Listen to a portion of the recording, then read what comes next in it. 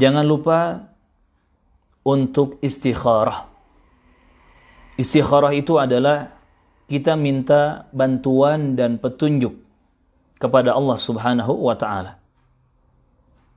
Dan salat istikharah ini hendaknya kita lakukan dalam hal-hal kebaikan yang kita butuh bimbingan dari Allah Subhanahu wa taala. Tidak hanya untuk pernikahan saja, tetapi untuk semua hal.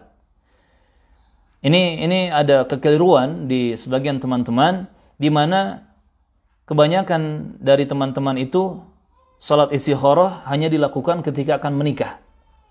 Jadi kalau ditanya, pernah nggak salat istikharah? Pernah. Kapan?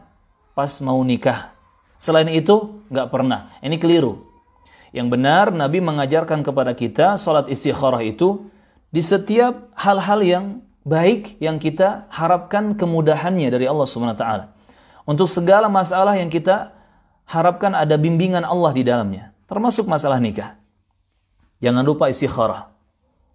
Alhamdulillah kita sudah mulai opening, launching rumah makan gratis Uki Kautsar di Jalan Raya Jatinangor nomor 21 dekat gerbang tol Cileunyi Bandung.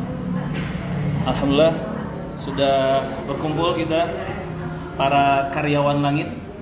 Jadi di rumah makan gratis ini tidak ada bos, tidak ada bawahan, tidak ada atasan, semua sama. Kita semua adalah karyawan langit. Alhamdulillah. Ada Kang Oki Kautsar, ada Bang Tito dari rumah makan gratis Wise ya. Masya Allah, Alhamdulillah, Barakallahu